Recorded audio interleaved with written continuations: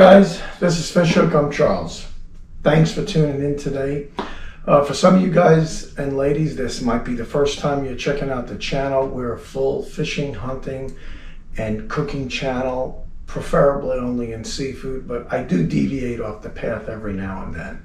But today's uh, episode and uh, today's video, especially, is the beginning of the nicest time of the year, the holidays. We've got Thanksgiving and we've got Christmas and New Year's. Means a lot of eating and a lot of everybody watching their waistline. Well, I love appetizers. I love everything, but appetizers especially.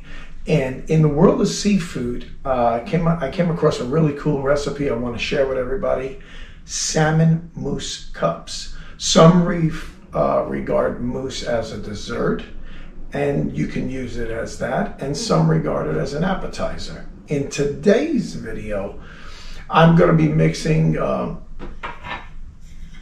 in this little um, 24 cup mini muffin mix. We're going to do a two step mix. First one, we're going to mix up all the ingredients, bake, get the muffins ready, 10 minutes in the oven, then pull them out, and then we're going to mix the rest of the mixture together. Put all that goodness in there, let it rest in the fridge for about two hours to cool down, and then we're gonna chow down. And uh, I think you guys are gonna like this. It's easy to do. So stay tuned. I'm gonna bring you in closer and uh, give you a first shot at what all the ingredients are. Well, the first step in um, getting this delicious appetizer together, we've got third of a cup of cream cheese, half a cup of butter, and a half a cup, or rather one cup of flour. We're going to mix the cream cheese and the butter together, get that really mixed smooth, and I might use the blender if I can. I'm going to try it by hand first, mix it up, and then we're going to add the flour and uh, put the finishing touch on. So let's get started.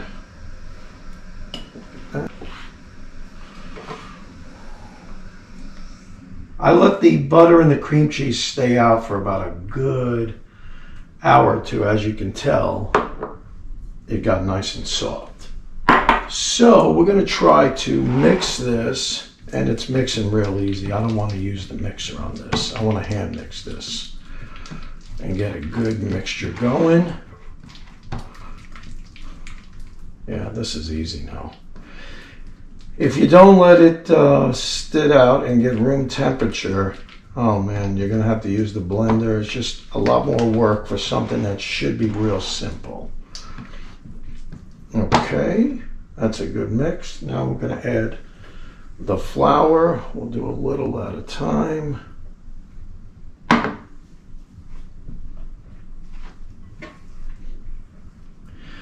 This is a little bit out of my normal, my league doing um,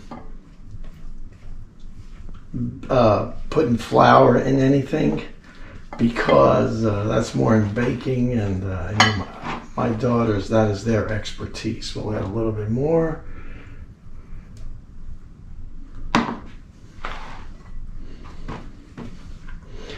Now my pan is all greased and ready.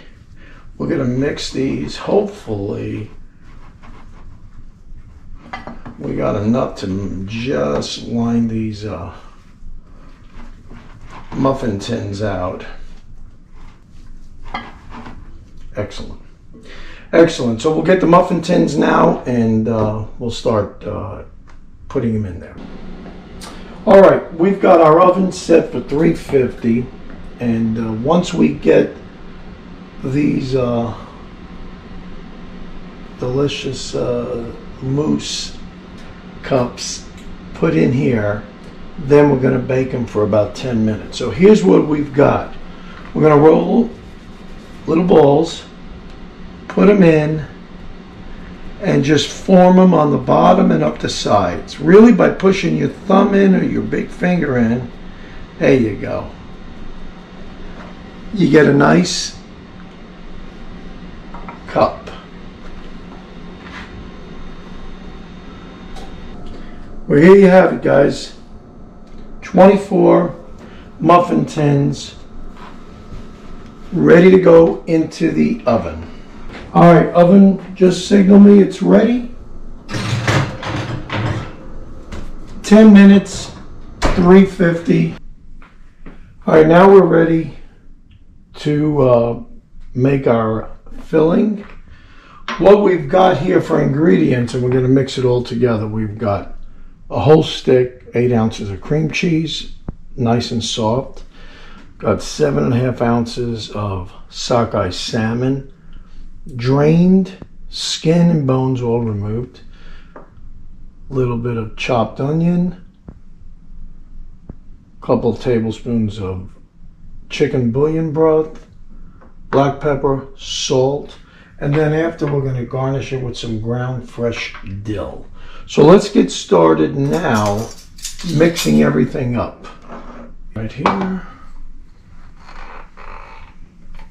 All right, we're just to beat this into submission today. Let's get our uh, salmon.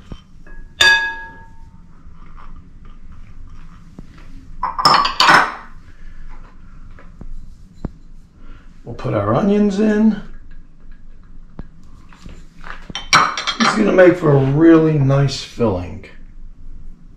Pinch of black pepper, pinch of salt. All the ingredients to this recipe will be in the links below. And then we're going to put in a couple of tablespoons of sour cream.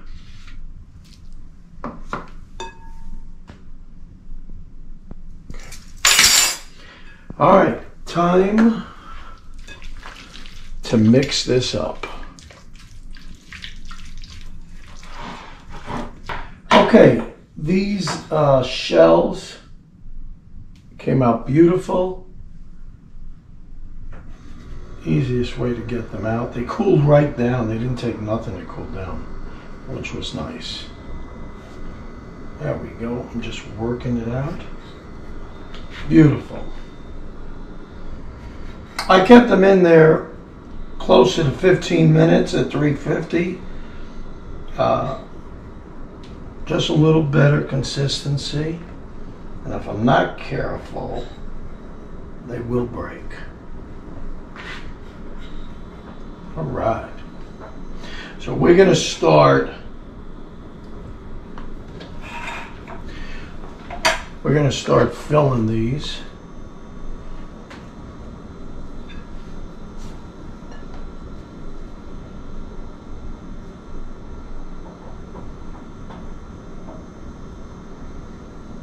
All right.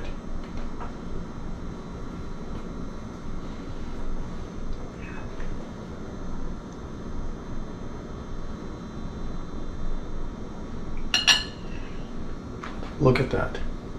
Is that not delicious? Hmm. I have all to do to hold back right now, even though they do have to uh, be refrigerated. Oh, yeah. Oh, yeah.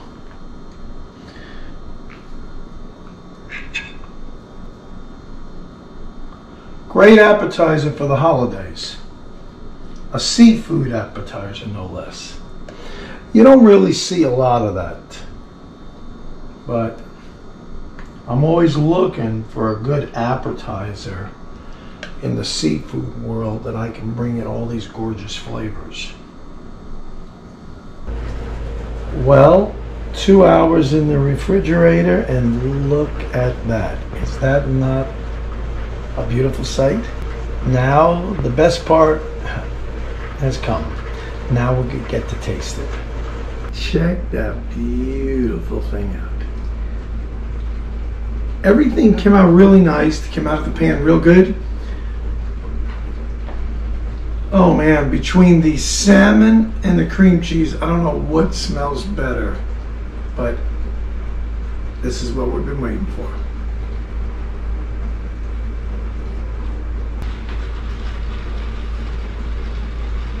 Oh yeah. Cup of coffee. I get down about a dozen of these. This is delicious.